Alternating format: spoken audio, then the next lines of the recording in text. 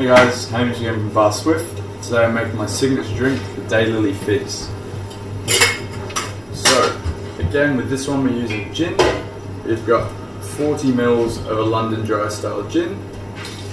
We have 30 mils of a pea sherbet. 20 mils of lime juice. And we have touch of mezcal. And then again a touch of green chartreuse.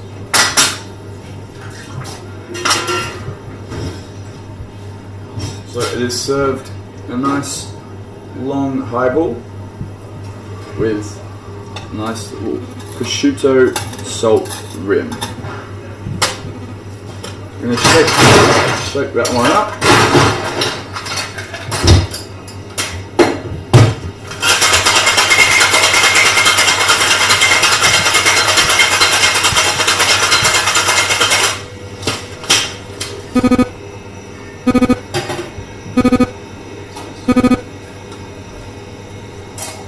And strain it straight into the glass.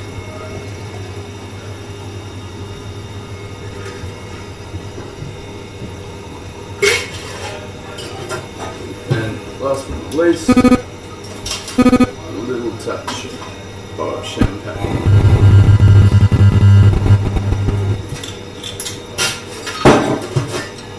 There you have Daylily Fizz.